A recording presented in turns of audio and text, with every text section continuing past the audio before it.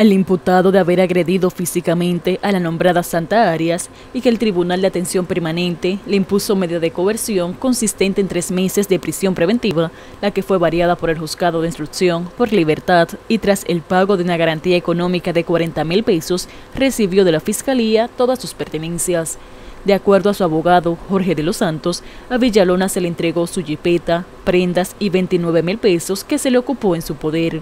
El Ministerio Público en la persecución contra Alexis Villalona practicó allanamientos entre los que se encuentra uno ejecutado en una finca agrícola de un primo en la sección El Recodo, de donde las autoridades se llevaron un costoso sistema de vigilancia con sus respectivas cámaras. Se desconoce si estos equipos han sido devueltos a su propietario, quien venía demandando la entrega de los mismos.